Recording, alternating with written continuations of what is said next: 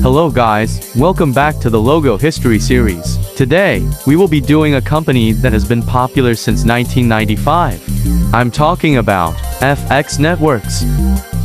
FX Networks, LLC, is a company consisting of a network of cable channels plus a production company and a subsidiary of the Disney Entertainment business division of the Walt Disney Company. Originally a part of 21st Century Fox, the company was acquired by the Walt Disney Company on March 20, 2019. Consequently, FX Networks was integrated into the newly renamed Walt Disney Television Unit.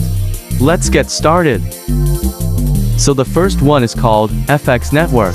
It was used from 1995 to 1996. Any changes? We'll see.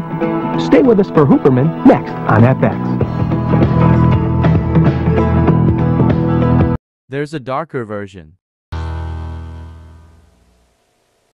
The second one is called FX Tower. It was used from 1998 to 1999.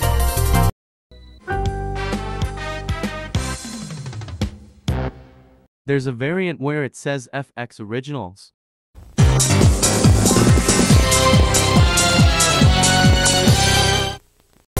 The third logo is called FX Black Spot. It was used from 1999 to 2000.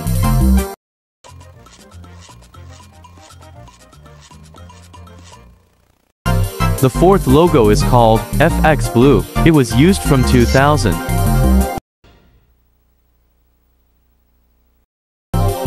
The fifth logo is called FX Blue 2. It was used from 2001.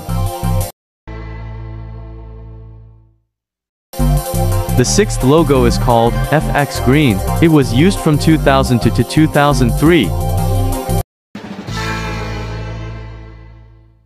There's a black version. The seventh logo is called FX Lines. It was used from 2003 to 2004.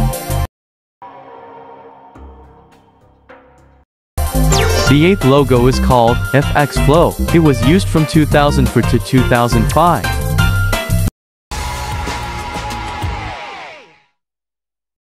The ninth logo is called FX. It was used from 2005 to 2008.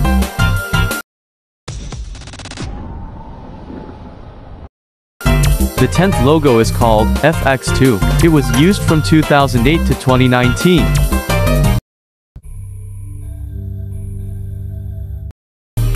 The 11th logo is called FX3. It was used from 2019 to 2020.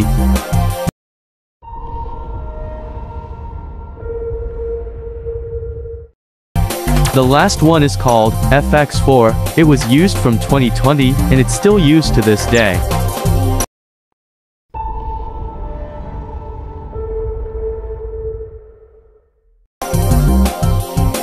That was it, thanks for watching, I will see you next time, goodbye.